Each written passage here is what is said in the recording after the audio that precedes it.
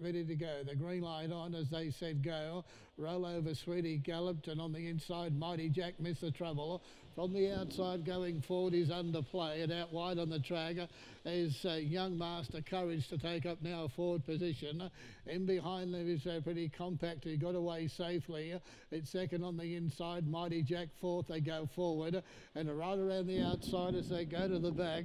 He's Lady Zara's home for Winnell, and he wants to be forward, and in a forward forward position he will be very, very soon. As they go down the back on this leader's travelling well under play. Leads out by a neck now on the outside. Lady Zara's home has gone up to join it.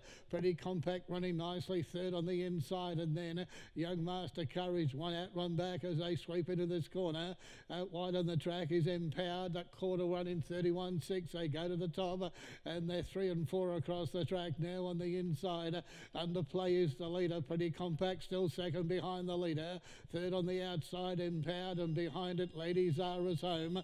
Giant Jackson, three back the outside, and then behind them is Young Master Courage, Mighty Jack, Chill and Burn, and Roll Over Sweetie after galloping is last of all, the bell sounding. 31.9 the quarter, homeward bound to the top they travel, and under play still there, makes play by three parts now. In second placing on the outside, a couple of them are getting a little bit tight, Empowered running second, the outside, third pretty compact, running a good race. Mighty Jack's going forward, three wide, the first starter. He goes up to be three wide as they go down the back and approach the 400. Gee, this is going to be an exciting finish for the last at uh, Canberra tonight. And on the outside, Empowered has gone to the lead. Mighty Jack on the outside, though, is chasing the leader past the 400. Chill and Burns coming into it out three wide. That quarter was running 30.3. A tight and compact field at the 200. On the inside, this leader still giving something.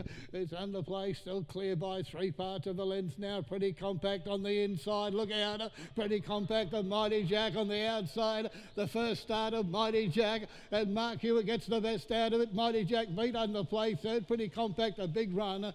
In behind them, Chill and Burn Empowered was with them. And